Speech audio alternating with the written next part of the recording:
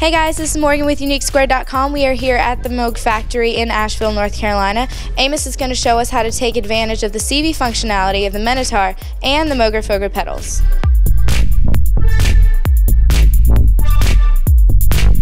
Another thing that I wanted to make sure to show was some of the amazing ways that you can use control voltage interactions between different Moog pedals and products. All of our gear has CV inputs or CV in and outputs, which you can use to interconnect and link the effects together to just multiply what they can do by, by an amazing degree. So uh, I'd already mentioned that I'm using pitch and gate control voltage from the sequencer to the Minitaur, but we're also going to hook in now control voltage inputs and outputs from the Moogerfoogers as well. The Moogerfooger ring modulator has an output for the carrier oscillator that's giving it that ringing sound, you can take that voltage out of the ring modulator and plug it into any of your other effects with control voltage inputs for amazing audio rate modulations. So we'll start with this very plain sound here, add a little bit of resonance to the filter, and I'm now going to connect the ring modulator's carrier CV output to the filter cutoff frequency input here.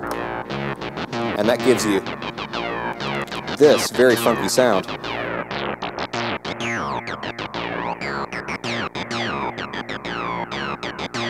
And so now that we've got that sound dialed in, I can take the LFO output from the 104 here. Excuse me, this is a 102 ring modulator. Now that we have that dialed in, we can take the LFO output from the ring modulator and use that to control another parameter. Let's say the LFO amount on the 12-stage phaser. So now we've brought the phaser into the picture, but we're controlling how much of this effect is, is active using an LFO that's built into this effect. So these are cross-modulating each other and at the same time feeding back into the synthesizer.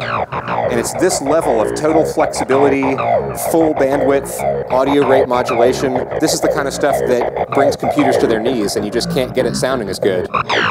The best way to do it is in the analog domain and it's immediately apparent live and in recordings that you've taken the extra time and trouble